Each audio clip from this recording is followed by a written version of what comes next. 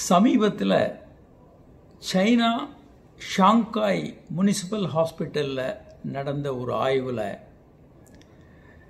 பதினாறு சதவீதம் பேருக்கு நூற்றுக்கு பதினாறு பேருக்கு கொரோனா வைரஸ் விந்து திரவத்தில் கண்டறியப்பட்டிருக்கு அப்படின்றது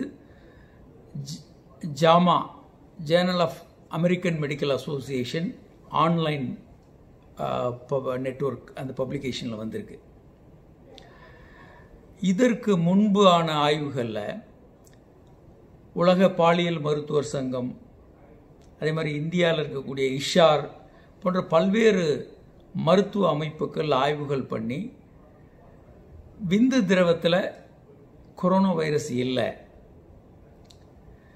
மற்ற எச்சில் தும்மும் போது வரக்கூடியது உடலில் இருக்க திரவங்களில் இருக்குது சிறுநீரில் இருக்குது மோஷனில் இருக்குது ஆனால் விந்து திரவத்தில் இல்லை அப்படின்னு தான் அறியப்பட்டது.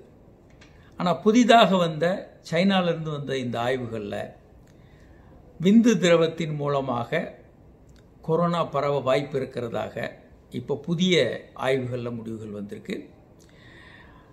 இன்னும் இதை பற்றிய ம- மிக விரிவான ஆய்வுகள் பண்ண வேண்டியது இருக்கும். ஏன்னா அந்த வைரஸ் வந்தே சில மாதங்கள் தான் ஆகிறதுனால இந்த ஆய்வுகள் எல்லாமே புதிது.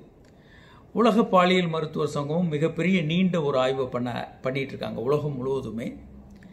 இப்போ இந்த சைனாவில் பண்ண ஆய்வு வந்து இந்த விஷயங்கள் புதிதாக வந்திருக்கு. இது நம் நம்ப வேண்டிய முக்கியமான விஷயந்தான் ஏன்னா இந்த கோவிடில் இருந்து குணமானவர்கள் அதிகமான பேர் சைனாவில் தான் இப்போ இருக்கிறாங்க. சைனாவில் தான் இந்த ஆய்வுகளை இப்போ பண்ணுறதுக்கு ஒரு சரியான இடம். இந்த பதட்டமும் குறைந்து ஓரளவுக்கு நோயாளிகள் குணமடைந்து நோயாளிகள் நிறைய உள்ள ஒரு நகரம். பதினாறு சதவீதம் பேருக்கு விந்து மூலமாக கோவிட் பரவ வாய்ப்பு இருக்கிறது. நூற்றுக்கு பதினாறு பெர்சன்ட் வந்து விந்து திரவத்தில் அது கண்டறியப்பட்டிருக்கு. இது ஒரு முக்கியமான ஒரு விஷயம்.